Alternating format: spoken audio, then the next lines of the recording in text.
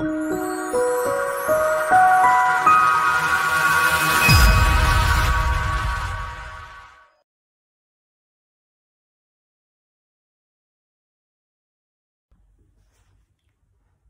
María Purísima, sin pecado concebida. Hoy terminamos el quinto capítulo del libro de Apocalipsis. En el nombre del Padre, y del Hijo, y del Espíritu Santo. Amén. Santos ángeles de Dios, vengan a nuestra ayuda. Ayúdenos a alabar, adorar a Jesús nuestro Señor, para que toda nuestra vida todo lo que somos, hacemos y decimos sea para su alabanza y su gloria.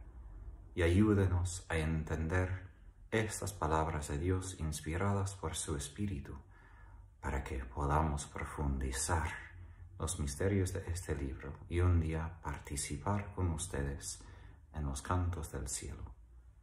Todo eso pedimos en el nombre de Jesucristo nuestro Señor. Amén. En el nombre del Padre, y del Hijo, y del Espíritu Santo. Amén. Comenzamos con versículo 11 hasta 14. Son los últimos versículos de este capítulo. Y en la visión oí la voz de una multitud de ángeles alrededor del trono de los vivientes y de los ancianos. Su número era miriadas de miriadas y millares de millares Dios en la idea de, la Biblia del Antiguo Testamento está rodeado por sus ejércitos, ejércitos de, de ángeles. Por esto en el canto, Santo, Santo, Santo es el Señor Dios del universo, técnicamente no es universo. Sabaoth en hebreo, el original quiere decir su ejército, es decir, todos los ángeles que lo, rodean en el cielo para estar en su servicio. Entonces aquí tenemos una imagen del cielo. Jesús como cordero en el centro con el Padre y como los círculos alrededor de él. Tenemos los cuatro seres vivientes que gobiernan toda la creación, los ancianos y todos los ángeles, los ancianos que representan Israel, del Antiguo Testamento y el Nuevo Israel, la iglesia del Nuevo Testamento, y estos otros ángeles. En el libro de Apocalipsis vemos muchas veces los ángeles, mucho más que en todos los otros libros de, la Biblia. se mencionan los ángeles seguramente, pero aquí vemos su presencia de una manera casi continua.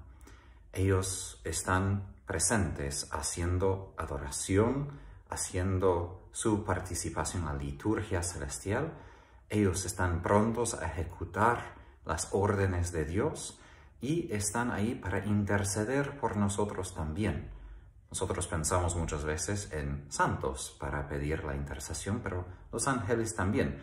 Hasta en el libro de Tobías, San Rafael Arcana dice que él fue quien llevó la oración de Tobías y de Sarra en el momento de su desesperación frente de Dios. Y nosotros estamos acostumbrados como católicos de pensar en nuestros ángeles custodios.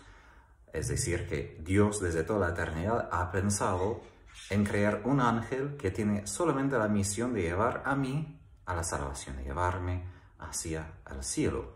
Y los santos humanos hablan de los miles de favores que hacen los santos en nuestras vidas cotidianas. Yo recuerdo que mi propio papá siempre pedía que el ángel custodio le provea un espacio para estacionar su auto. Ahora, eso no es la cosa más importante, pero funcionó, porque ellos cuidan nosotros nuestra vida temporal.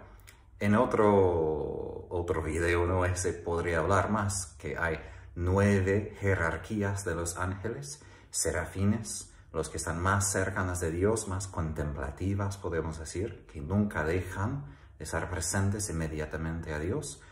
Y los más bajos son nuestros ángeles custodios, que están más directamente empeñados en este mundo material, en nuestras vidas, decisiones, de cuidarnos para no pequemos y también de protegernos en el cuerpo. menciono esto porque a veces pensamos mucho en cielo como el lugar donde vamos a nosotros estar con Dios, pero cielo de hecho es el lugar donde está Dios, los ángeles y nosotros. Y ellos son nuestros compañeros en el camino, ya han alcanzado la meta de felicidad eterna con Dios, pero ellos nos acompañan hacia el cielo para que estemos con ellos y participemos con ellos en esa liturgia celestial. Y aquí la traducción tiene miriadas, es decir, el número de todos estos ángeles que rodean el trono, miriadas de miriadas y millares de millares. Miriadas en griego quiere decir diez mil. Era el número más grande en griego y también en el mundo romano. Y por esto la legión era de 10.000, si recuerdo bien, 10.000 soldados. Entonces aquí, miriadas de miriadas, es decir, 10.000 por 10.000 y miles por miles. Es decir, un número sin poder contar. Obviamente hay un número específico, pero más allá de lo que podemos nosotros imaginar, como si quisiéramos, por ejemplo, contar todas las estrellas o los granos de la arena ah, en las playas. Se podría si fuéramos Dios, pero nosotros es casi infinito. Y esto indica que como nosotros tenemos el mundo natural con tanta hermosura, hay un todo un mundo espiritual con su propia hermosura. No se puede ver con nuestros ojos, pero hay tantos ángeles. Y Santo Tomás de Aquino dice que cada ángel es su propia especie. Nosotros como seres humanos somos todos de la misma especie, de humanos. Pero los ángeles, cada uno es específico y completamente único y diferente que los otros ángeles. Qué interesante. Qué diferencia y qué hermosura de Dios de crear tanto, tan número de ángeles y todos únicos. Ahora, esta visión repite en algún sentido y, cumple lo que Daniel había visto en Daniel 7, porque cuando él ve que alguien como hijo de hombre se acerca al trono de Dios, primero ve el trono de Dios Padre rodeado por estos miriadas y miriadas de ángeles. Y aquí vemos otra vez revelado esta realidad, pero con Jesús. Él es quien es el Hijo del Hombre, quien se había acercado a recibir de Dios el dominio, la realeza, el honor y el poder. Todos estos seres, esas criaturas potentes, alaban, dan culto a, Jesús resucitado, el Cordero degollado de pie, con voz potente. Y aquí sigo con versículo 12. Y decían con fuerte voz, digno es el Cordero degollado de recibir el poder, la riqueza, la sabiduría, la fuerza, el honor, la gloria y la alabanza. Mencioné el cuarto capítulo, los ángeles y los ancianos alabaron a Dios Padre por la obra de su creación. Ahora están alabando a Jesús por la obra de la redención, que fue de modo particular suyo, porque solo Jesús fue crucificado, aun si el Padre y el Espíritu Santo también estaban trabajando, obrando para nuestra salvación. Ahora, en griego hay solo un artículo. En español tiene que repetir para que tenga sentido, pero de hecho en hebreo, eh, perdón, griego se lee así digno el Cordero degollado de recibir el poder, riqueza, sabiduría, fuerza, honor, gloria, alabanza. En español se repite el poder, la riqueza, la sabiduría, la fuerza, el honor, la gloria, la alabanza. Y en griego eso es a propósito porque eso indica que son todos estos partes de una misma realidad, como facetas o, aspectos del diamante. Es un diamante que tiene diferentes facetas, de donde sale la luz. Y lo mismo, todo eso indica una realidad que pertenece a Cristo, porque son cualidades y de un rey, por ejemplo, poder, riqueza, sabiduría, fuerza, pero otros específicamente que solamente aplican a Dios honor, gloria y bendición o alabanza. Es decir, aquí para nosotros resulta normal dar este culto a Jesús, pero por los judíos todavía hay que recordar en el primer siglo eso es algo completamente nuevo, que no solo Dios Padre merece todo esto, sino Jesús. Y en algún modo lo que vemos aquí es la ascensión de Jesús desde el punto de vista del cielo. Es decir, en el libro de los Hechos de los Apóstoles, el primer capítulo, leemos cómo los apóstoles habían visto a Jesús en su ascensión hacia el cielo.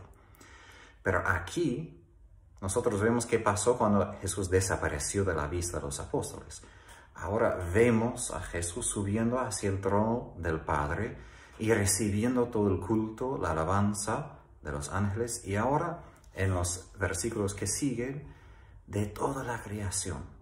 Porque lo que era antes era la alabanza simplemente en el cielo, lo que sí pasó en la ascensión de Jesús. Pero ahora entramos en como una visión eterna, es decir, sin tiempo, porque toda la creación empieza a cantar y alabar a Dios. Versículo 13. Y toda criatura del cielo, cielo, de la tierra, de debajo de la tierra y del mar, y todo lo que hay en ellos, oí que respondían, al que está sentado en el trono y el cordero, alabanza, honor, gloria y poder por los siglos de los siglos. La alabanza comienza en el cielo y se extienda toda la creación. Y esto es en parte la meta de toda la creación, de estar en acto de alabanza. Y nosotros como seres humanos somos los que unen el mundo material con el mundo espiritual. Debemos nosotros como ser las voces de la creación material que no tiene voz.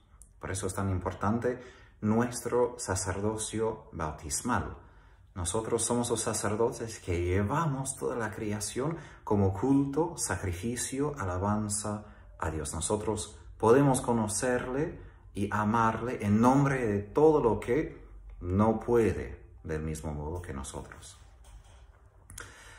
Entonces, esta alabanza, ese culto, extiende toda la creación y aplica y al Padre, el que está sentado en el trono, y el Cordero. Y otra vez escuchamos alabanza, honor, gloria y poder, es decir, son todos los atributos que merecen Dios. Otra vez, el número cuatro, antes, si no me equivoco, ah, era siete honores, el número perfecto, y ahora cuatro, que quiere decir universal, que indica todo lo que es Dios y todo lo que merece. Y que confirma la alabanza, dicen, amén. Eso es el versículo que viene. Es decir, que es verdad. Los cuatro vivientes decían, amén. Y los ancianos se postraron para adorar. Esto para nosotros debe hacernos recordar de nuestra liturgia, porque nosotros también tenemos momentos cuando escuchamos a los demás cantando y nuestra parte es decir amén. Y así entendemos un poco mejor que la misa debe ser como esta visión donde la ventana hacia el cielo se abre para que podamos ver y participar ya en la liturgia perfecta del cielo. Y de hecho se puede leer mucho de ese libro como un libro que explica la misa, explica nuestra liturgia. Porque como he dicho antes, ese libro supone que la vida de la iglesia primero consiste en culto, alabanza, sacrificio. Y a causa de esto tiene gracia, tiene el poder del Espíritu Santo para dar testimonio de palabra, de obra, en todo lo que somos y hacemos. Pero siempre primero en la liturgia es la cosa bien importante en este libro. Entonces, si nosotros comparamos lo que está en ese libro con la misa, algunos ejemplos ya había mencionado cómo nuestra liturgia participa en la liturgia celestial, pero tenemos en la misa, por ejemplo, el canto que mencioné, Santo, Santo, Santo, que viene y de aquí y del libro de Isaías. También las plegarias eucarísticas son de, en gran parte tomados, permiso, tomadas de versículos de la Biblia. También tenemos presbíteros, que se mencionan acá, que son los que representan el pueblo de Dios y se visten con vestiduras blancas y otras cosas sacerdotales, las casullas, por ejemplo. Entonces, los ancianos aquí son los presbíteros, los que representan el pueblo de Dios en culto y alabanza de Dios. Vemos los gestos, es decir, el movimiento del cuerpo, que hacen postración, que están de pie, que se, ah, se inclinan. Todo lo que nosotros tenemos también en la misa. Vemos el uso de incienso, que representa las oraciones del pueblo de Dios que sube hacia Él. Tenemos también instrumentos musicales, los liros, si recuerdo bien, utilizaban para cantar en anteriormente en ese capítulo. También que están cantando, como nosotros cantamos en nuestra liturgia. Y en la iglesia bizantina, católica, por ejemplo, de los griegos, de los ucranianos, ellos tienen la iconostasis, es decir, es una pared con iconos como tengo aquí. Pero eso es justo lo que vemos en ese capítulo. En el centro ellos tienen el tabernáculo y rodeado tiene María, San Juan Bautista, San José, otros santos, ángeles. Y la idea es que cuando uno entra a su santuario, uno ve claramente que está participando en lo que vemos aquí. Es decir, que Jesús nunca está solo. Jesús siempre está rodeado por sus santos que son redimidos justo por su sangre, manifiesta que su victoria en la cruz tiene poder, no simplemente en la mente, pero ha dado fruto en esas personas concretas y nuestra esperanza es un día participar con ellos. Y por esto la participación en la misa y la adoración eucarística son tan importantes. Porque si no nos gusta participar en la misa, y si no nos gusta estar en adoración, en silencio, ¿por qué vamos a querer estar en el cielo? Porque es lo que están haciendo allá. Sí, hay otras actividades también. Pero a veces se reduce la imagen del cielo a simplemente hacer las cosas que nos gustan, que no tiene que ver con Dios. Sí, imaginamos que vamos a tener tiempo, no sé, a pescar, si nos gusta pescar para pasar tiempo. Quizás. Pero la evidencia que tenemos más que todo en la Biblia sobre el cielo es que vamos a estar en acto continuo de alabanza y culto de Dios. Y si no nos gusta esto, vamos a tener algo de dificultad, no porque Dios no quiere que estemos en el cielo, pero nosotros vamos a preguntarnos si nosotros queremos pasar tanto tiempo en el cielo. Aquí tenemos, como dije, esta visión de la eternidad, porque si toda la creación está alabando a Dios, quiere decir que ya cesó la oposición, porque vamos a leer por muchos capítulos la oposición que todavía existe contra el Cordero, contra Dios, ¿no? la bestia, anticristo, dragón, pero aquí toda la creación. Entonces, vemos en algún tiempo colapsado el tiempo de la ascensión de Jesús cuando recibe el culto de los ángeles y santos en el cielo y ya estamos al fin del tiempo cuando toda la creación tiene una voz para participar en esa liturgia celestial. Eso es nuestra esperanza, que Dios va a remover la posición, va a remover los obstáculos hasta tal día que todos y toda la creación vamos a participar en esa gran liturgia, en ese culto, en ese sacrificio, esa alegría que es alabar a nuestro Señor. Terminamos aquí. Santos ángeles de Dios, ayúdenos que toda nuestra vida sea culto, alabanza, sacrificio al Cordero degollado, de pie, resucitado. Pidamos su intercesión para que nuestras dificultades perseveremos siempre fieles a Cristo que nunca dejemos de cantar sus alabanzas. y por la intercesión de los santos ángeles y arcángeles, que Dios les bendiga y guarde en el nombre del Padre, y del Hijo, del Espíritu Santo.